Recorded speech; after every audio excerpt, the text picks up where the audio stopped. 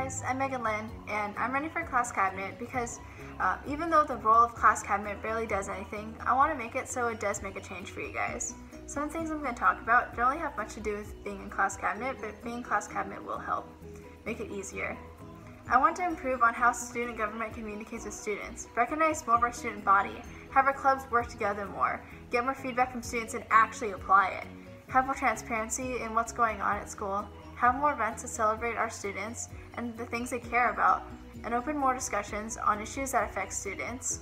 And I guess I'm a good candidate for that because I'm not scared of change and admitting that things just don't work. I take time to organize the things I take up and make sure they get done, and I actively communicate with those around me. But I could do more and be better, and that's why I hope to get into class cabinet so I can hold myself accountable and challenge myself to be a better leader.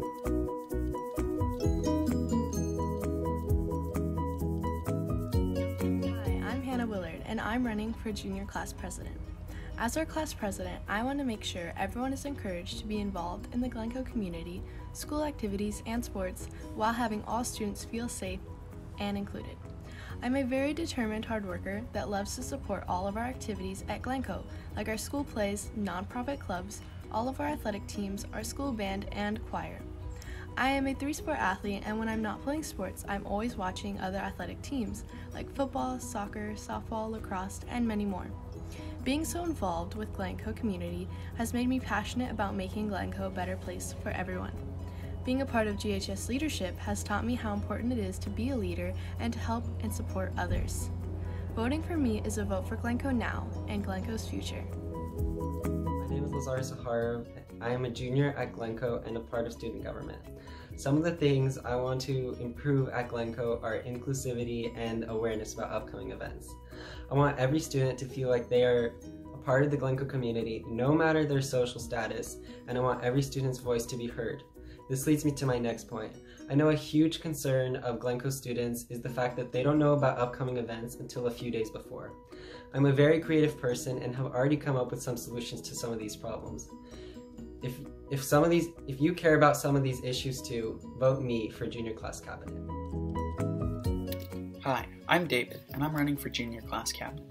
This school year has been a whirlwind, to say the least. Online school, having to stay home, and not being able to see your friends in person is nowhere near what we wanted.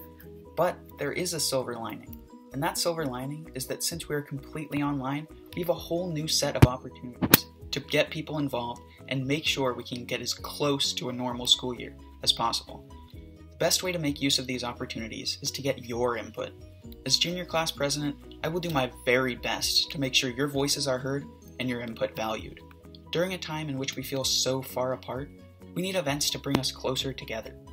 Now, I'm not going to make empty promises, like saying I'll get us a pool or something crazy like that, but I will promise to put all of my effort into making sure the rest of this year is enjoyable for not only the junior class, but the school as a whole. Make sure to vote David Smith for junior class captain.